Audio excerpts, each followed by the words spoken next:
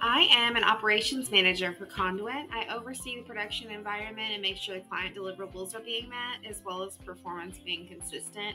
I have been with Conduent for 13 years and I've been in my role for the last four years and I love it here. What I like most about working in Conduent are the people. Um, every day I get the opportunity to meet new people, build bonds, make new memories, um, and I get to share my influence to a very large group of individuals. Um, I've always liked helping people, and I really feel like I get to do that here. Um, I started as an associate, um, just associate level when I was just 19 years old.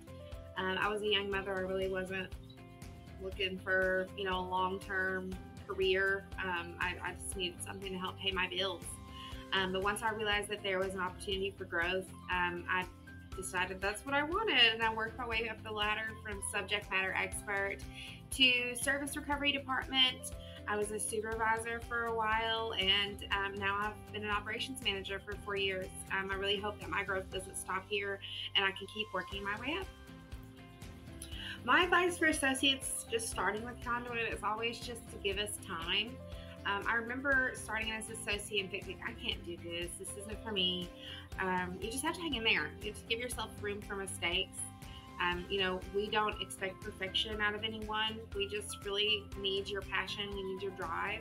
We can teach you the rest. Um, every job is going to have bad days, but it's really how you make it through that's going to set you apart from others.